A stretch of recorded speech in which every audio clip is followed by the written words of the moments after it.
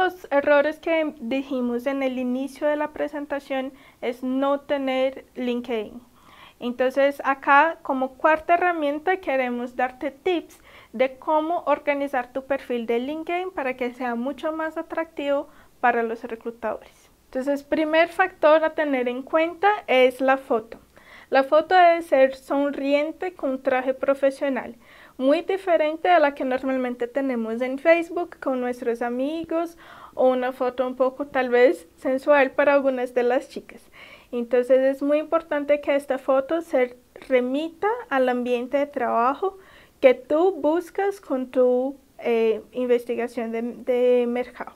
Adicionalmente, es importante que tú puedas poner bajo tu nombre palabras claves de tu sector. Muchas veces vemos personas que ponen el cargo actual o el último cargo y muchas veces en empresas diferentes los mismos cargos tienen nombres diferentes. Y si en lugar del nombre del cargo tú pones las palabras claves del sector en donde trabajas, es mucho más fácil para los reclutadores encontrarte que por nombre de cargo. El resumen debe incluir tu perfil profesional o un discurso un poco más charladito de tus experiencias anteriores.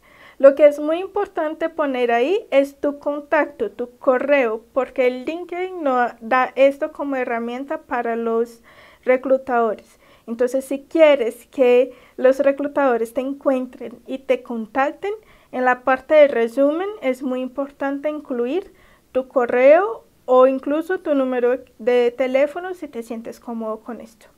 Por último, pero no menos importante, es muy importante que tú tengas recomendaciones de personas claves que han trabajado contigo, clientes, colegas de trabajo o jefes y validación de las habilidades o conocimientos claves que tú identificas que tienes en el sector.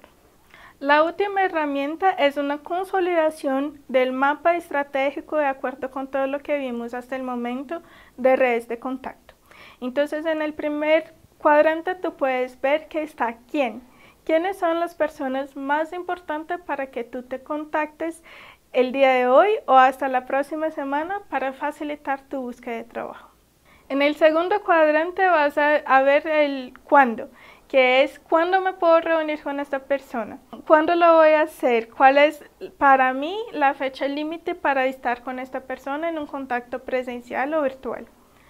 El tercero cuadrante dice el cómo. Lo voy a ver en un evento, voy a programar un café, le voy a escribir un correo, le voy a enviar algún material de interés, cómo voy a acercarme a esta persona.